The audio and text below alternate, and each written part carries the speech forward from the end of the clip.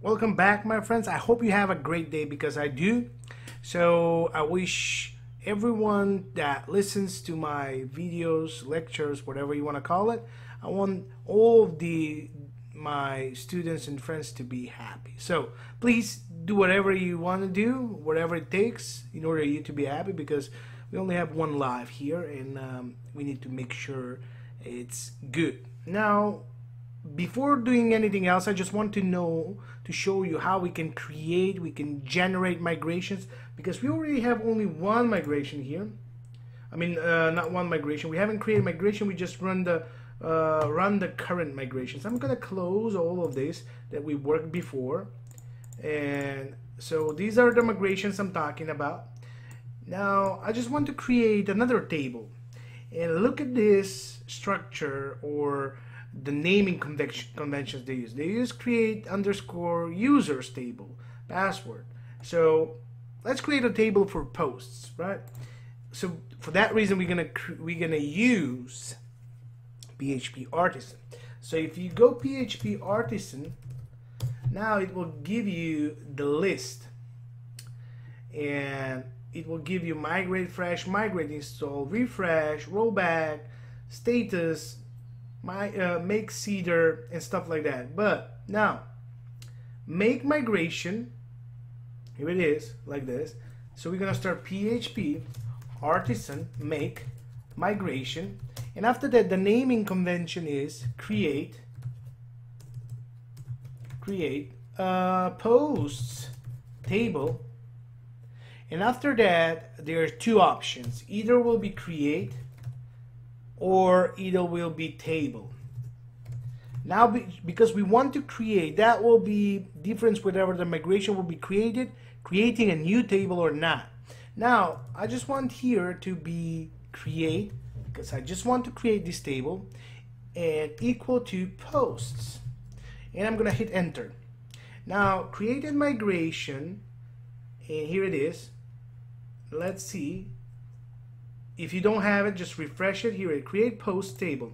Inside here, I have up and down, right? So drop table if it exists, post, and create table post. So everything is set similar like uh, the users table, right? Now I have big incre increments inside. We, I don't, big increments mean auto increment ID. It's a big integer. Now in the post, what we need, so here how we can specify, we can say, I'm going to leave timestamps. I'm going to say table, and I'm going to say string, and I'm going to say title there, right? Very good. Now, everything else will remain same. I'm going to show you at the end what you can use here because you can use different, um, I mean, there is a list of all of your available column types that you can use. For example, big integer, big increments, stuff like that. Foreign keys, you can also add it here, doesn't matter.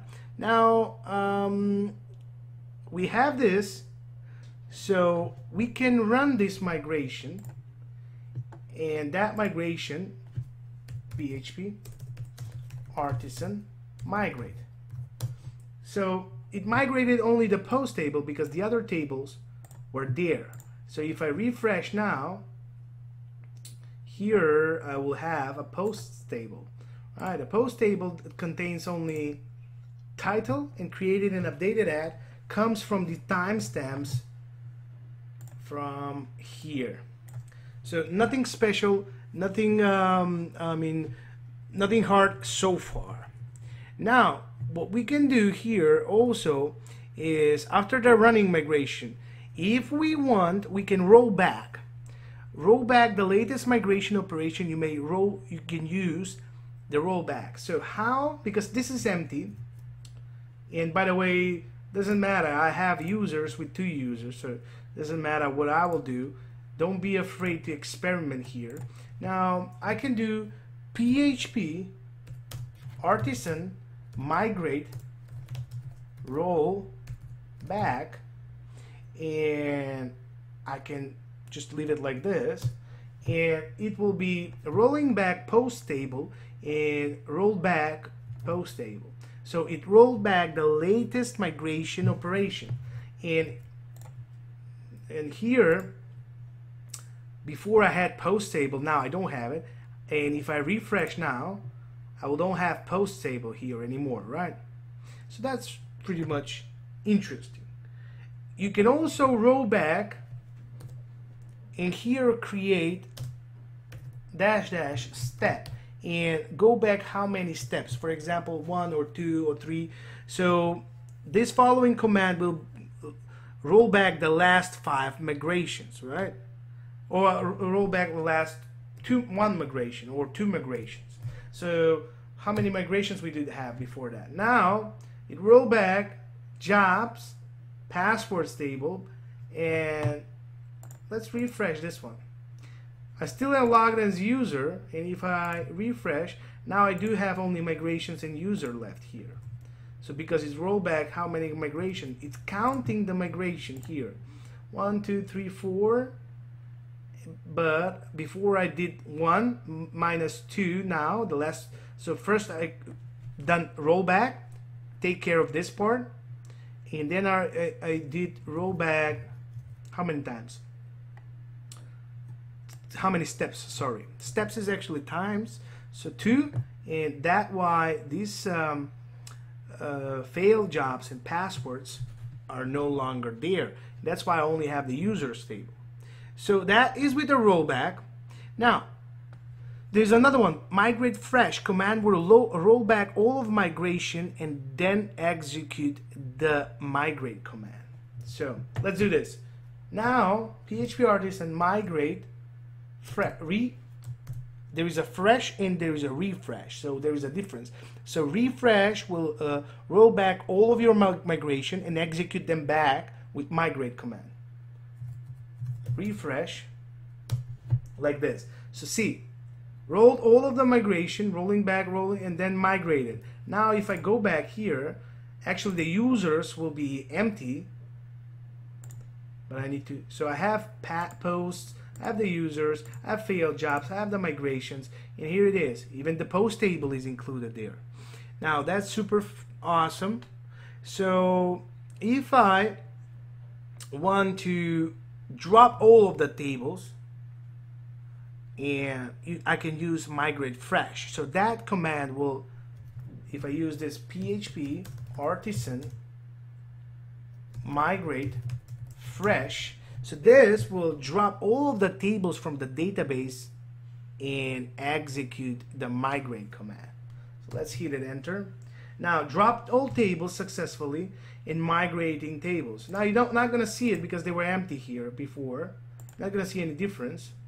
They're, they are, they're, I mean, again, same, but they're empty. But it dropped all of them, even it's saying drop all of them.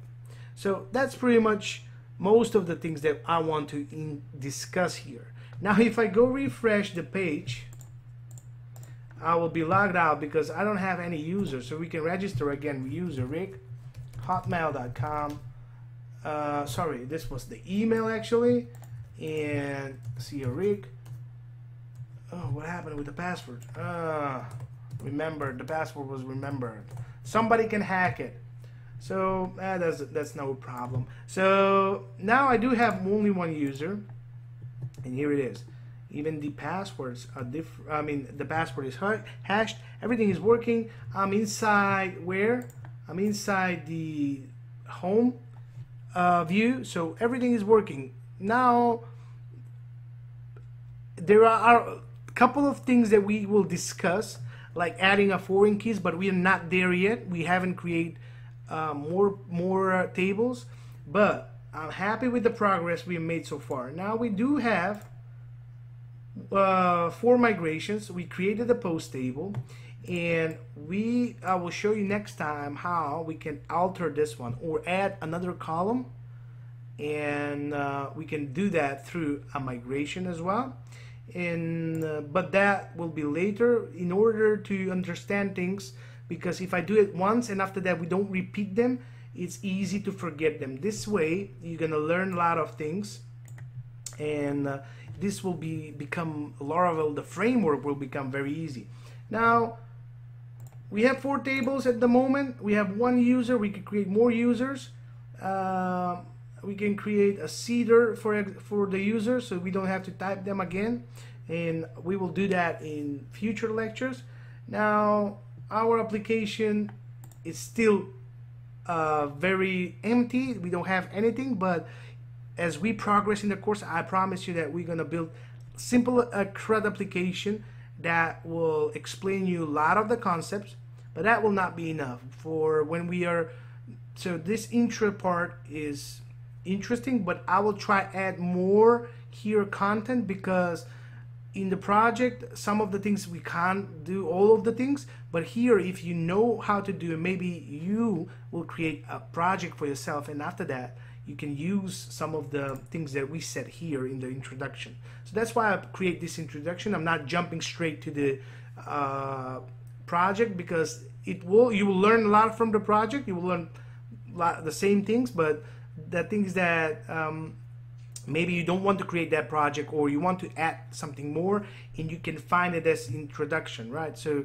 maybe we're not going to do too many migrations rollbacks in our project in uh, but now I'm showing you how you can do. So what we have done this today we have talked about database migrations. We created a migration. We roll that back. We migrated fresh. So that will drop all the table. We we migrate refresh and that will roll back all of our migration and execute migrate command again. And also there is a one with um, we can specify the number of steps so migrate rollback, for example, five steps, and um, that's pretty much it. Also, there is a one more I want to show you. There is a PHP artisan migrate reset and uh, this command will roll back all of your application migrations that's pretty much it rolling back roll back and we have to do PHP artisan so now if I here we just have the migrations nothing else. Now I need to PHP artisan migrate. And that will go look in this folder here what we have and it will it will execute all it will migrate actually all of this into here. So let's execute. Very good. Now let's check.